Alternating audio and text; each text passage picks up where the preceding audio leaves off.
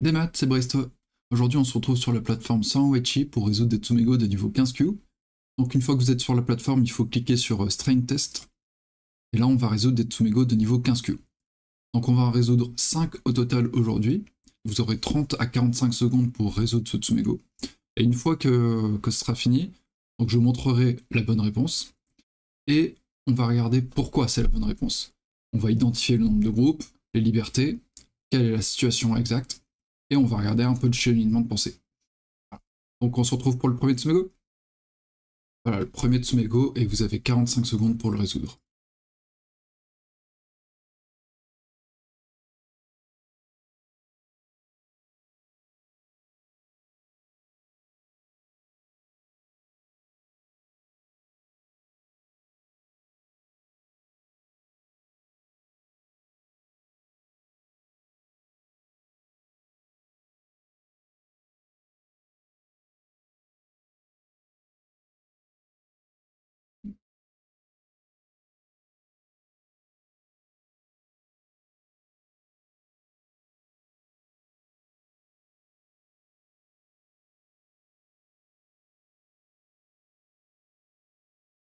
Alors, qu'est-ce qu'il se passe ici?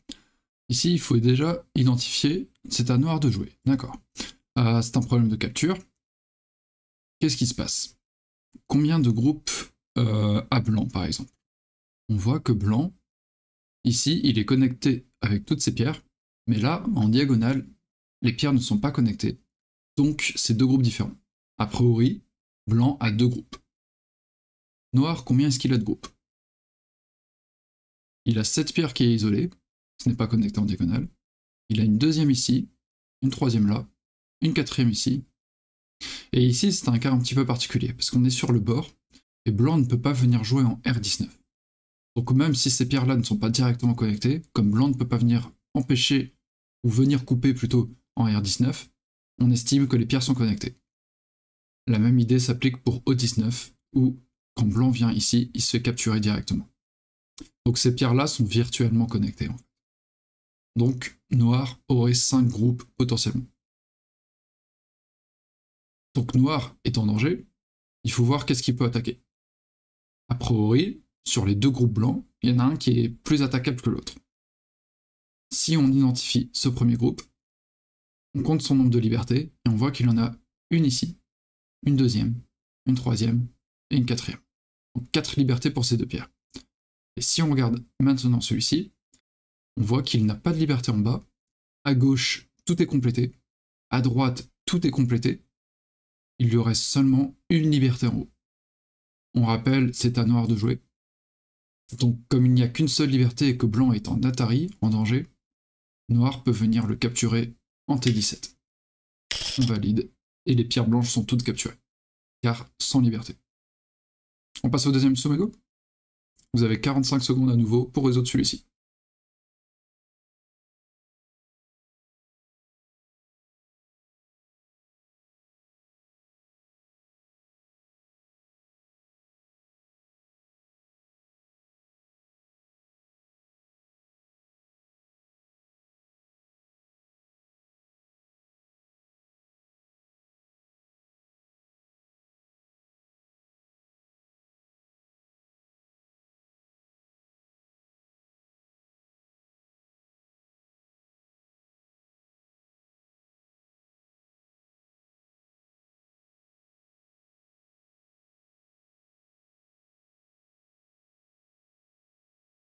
Alors, ici, c'est également à noir de jouer. On va encore une fois identifier le nombre de groupes. Donc, noir, combien est-ce qu'il a de groupes? A priori, il en a un ici. Les deux pierres sont connectées de haut en bas. Pour rappel, les pierres sont connectées si elles sont sur des, euh, des coordonnées adjacentes. Donc ces deux pierres sont connectées. En diagonale, ce n'est pas connecté, donc là, on démarre un nouveau groupe qui est tout connecté ici et ici de gauche à droite. Donc ici, on a un deuxième groupe et là, une troisième pierre, un troisième groupe isolé. J'abuse un peu du terme parce que souvent on dit sur le Goban, sur le plateau, que euh, une pierre isolée n'est pas forcément un groupe. Mais ici, pour le, pour le Tsumego, on dira que c'est un groupe. Donc noir a trois groupes, trois positions. Blanc, qu'en est-il? Blanc, il a un groupe ici, il a un deuxième là, et ici c'est coupé en diagonale, donc on pourrait dire un troisième ici, et un quatrième là. Mais, on pourrait presque dire que blanc n'a que deux groupes, car si ça avait été à lui de jouer, on voit que cette pierre-là, noire, justement, isolée, n'a que de 4 libertés à la base. Mais blanc a déjà enlevé la liberté au-dessus, à droite et en bas. Si c'était à blanc de jouer, il pourrait venir ici, capturer cette pierre, et du même fait relier toutes celles-ci. Alors c'est encore une fois en diagonale, mais dans la même logique que le bord gauche dans le premier Tsumego, Noir ne peut pas venir ici, car le suicide est interdit. S'il joue ici, il est déjà tout entouré. Donc virtuellement, toutes ces paires blanches sont connectées. On voit que c'est dans la zone du coup que Noir a quelque chose à jouer. Qu'est-ce qu'il peut faire? On va compter les libertés des groupes blancs. Blanc, ici, il a une liberté en T15, une deuxième en S14, une troisième en R13 et une quatrième en Q14. Ok, quatre libertés pour ce groupe. Celui-ci, il en a une, deux, trois, quatre. Celui-ci, il en a une, deux, trois, quatre, mais également Q17 qui est un petit peu caché. Donc il a cinq libertés. Et son groupe en P17, P16 et Q16, il n'en a pas à droite, il n'en a pas en bas. En haut, il n'a pas ici. À gauche, il n'a pas pour le moment de liberté car il n'a pas capturé P18. Donc il lui reste seulement une liberté en Q17. Encore une fois, c'est à Noir de jouer. Donc Noir s'y précipite pour capturer les trois pierres blanches. Et du même fait, relier virtuellement toutes ces pierres. On passe au troisième Tsubugo À Noir de jouer. 45 secondes.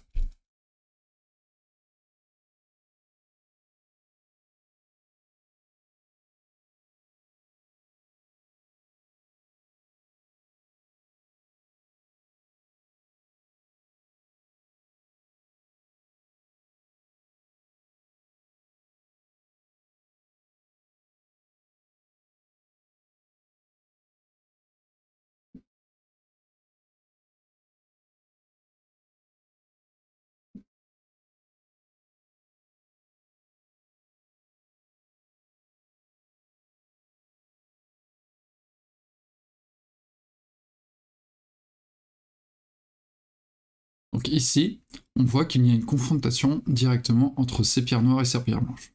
C'est à noir de jouer, donc a priori c'est à noir de venir capturer d'abord.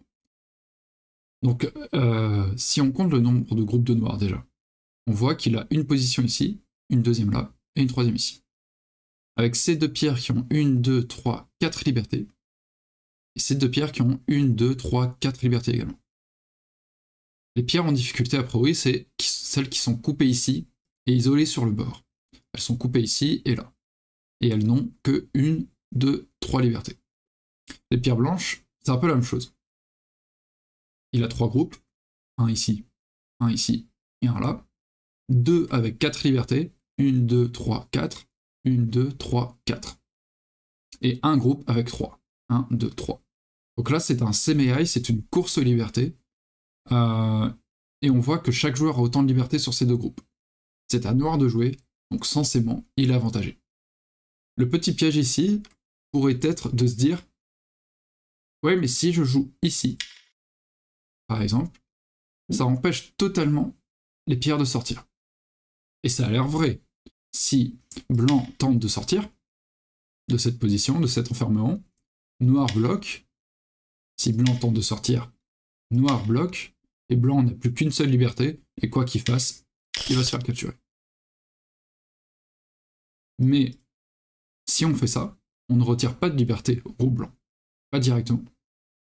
Et blanc peut revenir en T14 par exemple, et noir s'il commence à retirer des libertés ici, blanc retire une autre, noir également, mais blanc capture. Donc là attention, on ne peut pas se permettre de faire ça. Il faut directement enlever une liberté au pierre blanche. Donc les trois coups ont l'air de marcher. Et on pourrait faire ça par exemple. Et là, si blanc essaye de fuir, on bloque. Si blanc essaye de fuir, il ne se rajoute pas de liberté et se fait capturer. On remarque que ça marche également ici. Si noir joue là, Blanc essaie de fuir. Noir Atari. Blanc répond mais ne se rajoute pas de liberté car il se cogne à Q17. Et Noir capture.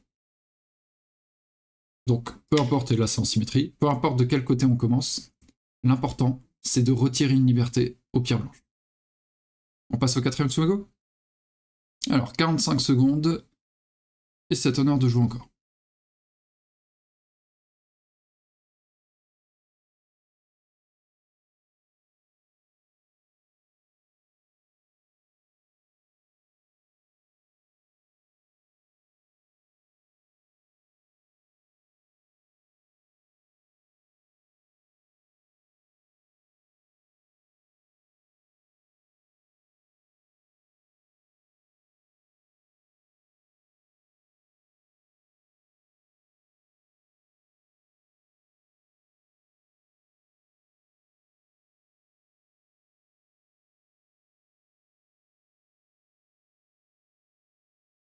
Alors, encore une fois, on va identifier le nombre de groupes et le nombre de leurs libertés.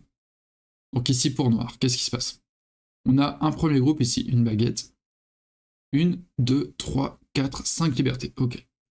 On a trois autres pierres comme ça qui sont connectées, avec une, deux, trois, quatre, cinq libertés. Donc deux groupes qui ont l'air assez solides en soi. Cinq libertés, ça commence à être pas mal. On a un troisième groupe ici, avec une, deux, trois libertés. Donc attention à celui-ci parce qu'il reste quand même des points de coupe vers euh, P12 par exemple, on voit que ce n'est pas connecté. Et il reste aussi ces deux pierres qu'on peut compter comme un seul groupe, car cette forme qu'on appelle Kosumi, le courant diagonal, euh, quand blanc n'a joué d'aucun des deux côtés, on dit que c'est connecté, car si blanc joue en T13, noir peut aller en S14, mais euh, si blanc joue en S14, noir peut aller en T13. Donc c'est équivalent d'un côté ou de l'autre. Donc il n'y a pas de problème, noir est connecté à Pro. Cependant, ces pierres ont l'air quand même englobées dans une formation blanche, donc très en danger. Blanc, pendant ce temps, il a une forme de Kosumi ici, et noir n'a joué d'aucun des deux côtés. Donc ces deux pierres-là, on peut dire qu'elles sont connectées. Virtuellement, bien sûr, mais si, euh, hop, je vous montre, si noir joue là, blanc pourra venir jouer ici, donc ce n'est pas possible de couper. Et si noir joue une pierre par ici, blanc peut connecter là. Donc pour le moment, ces pierres, on ne peut pas nier la connexion. Donc ces pierres-là sont connectées, et ici, on en parlait dans le deuxième Tsumego, Noir ne peut pas venir jouer, car c'est un suicide. Le suicide est interdit au jeu de Go, donc les pierres blanches ici sont connectées également. Tout ça, c'est un seul groupe aux nombreuses libertés. 1, 2, 3, 4, 5, 6, 7, 8. Beaucoup, beaucoup de libertés pour ce groupe. Donc il n'a aucun souci. Il a un deuxième groupe cependant, ici, tout connecté comme ça, de haut en bas, de gauche à droite et de haut en bas, qui n'a que deux libertés internes. Donc a priori, la situation se passe là. C'est un heure de jouer. Comment est-ce qu'il peut faire? Il y a une petite technique au jeu de Go qui n'est pas forcément évidente à repérer en partie, car elle implique de sacrifier une pierre. Ça s'appelle le snapback, donc la prise en retour en anglais. Et ici, il faut jouer en R14. En jouant en R14, on sacrifie notre pierre hein, parce que on se retrouve nous-mêmes en Atari. On voit que si on joue cette pierre, la noire, on est déjà pris en bas, à gauche et à droite. Donc blanc peut capturer en jouant en S14 derrière. Mais en même temps, en jouant ce coup-là, on met en Atari toute cette formation. Donc euh, blanc, vraiment, n'a pas le choix de capturer cette pierre, sinon on capture tout ça. Imaginons blanc joue ailleurs, capture tous les pierres. Donc blanc capture. Mais en capturant, il se retire lui-même cette liberté en S14. Et on peut revenir jouer à l'intérieur. Et du coup, c'est la prise en retour, le snapback. On capture, tous les pierres blanches sont capturées. Donc à partir du moment où noir a joué ce coup, blanc est capturé. Il peut résister par exemple avec T13. Et effectivement, si noir ne répond pas, Blanc capture, mais cette fois capture les trois pierres, donc n'a plus de soucis. Il a trois libertés maintenant. Mais Noir va répondre et capturer les pierres, tout simplement. N'hésitez pas à me dire si, si ce n'est pas clair ou si ça va dans les commentaires. Et on va passer au dernier Tsumego. Donc 45 secondes. C'est à Noir de jouer.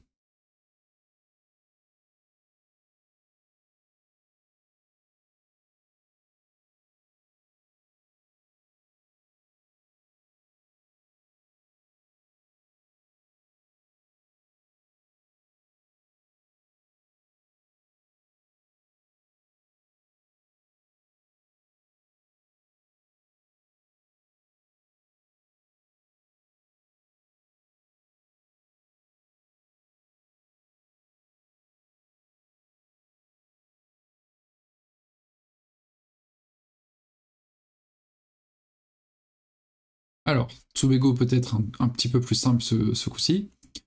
Euh, noir a un seul groupe. Tout est connecté de haut en bas ici, de gauche à droite et de haut en bas. Donc il a un groupe qui ne possède cependant qu'une seule liberté ici. En B3, ok. Blanc, il a deux groupes. Car ici, le Kosumi euh, n'est pas connecté. Donc il a deux pierres ici, avec une, deux libertés. Et il a cinq pierres ici, avec une seule liberté en A1. Le problème, c'est que c'est à noir de jouer. Donc je disais, celui-ci est peut-être un peu plus facile, car il y a Atari sur ces cinq pierres. Et effectivement, la bonne réponse est tout simplement, entre guillemets, de capturer ces pierres-là. Attention, le petit piège pourrait être de se dire je mets en Atari le tout. Effectivement, en jouant là, on pourrait se dire ah tiens, euh, je mets en Atari également ces deux pierres. Sauf que là, pour le Tsumego, il vous laisserait sûrement jouer ici et vous direz que c'est faux, mais en partie, de toute manière, on se comble nous-mêmes notre dernière liberté, donc c'est un suicide, et encore une fois, le, le suicide est interdit au jeu de Go. Donc la seule solution, c'est de capturer ici même si blanc peut recapturer cette pierre noire, il se retrouve très rapidement en infériorité numérique. Ici déjà, noir ne menace de faire deux yeux, il en aura au moins un. Et de toute manière, noir maintenant, comme il a deux libertés ici, peut revenir là. Même si blanc met en Atari d'une manière ou d'une autre, noir peut capturer, blanc ne peut absolument rien faire. Donc même à partir d'ici, tout est fini. Voilà, c'est fini pour les Tsumego aujourd'hui. Donc euh, n'hésitez pas à me dire si ça vous a plu ou pas. Euh, s'il y a des choses à améliorer, si c'est trop long les 45 secondes, après c'est les 45 secondes de la plateforme. Euh, n'hésitez pas à me dire si dans les explications vous voulez que j'explique un peu plus profondément ou plus rapidement au contraire. si la vidéo vous a plu, n'hésitez pas également à mettre un petit pouce bleu et à vous abonner à la chaîne si c'est pas déjà fait. Merci beaucoup. Sur ce, je vous dis à jeudi après-midi en stream à 16h pour ceux qui le souhaitent sur Twitch, le lien est en description. Euh, et à jeudi pour euh, ceux qui seraient sur YouTube seulement. Salut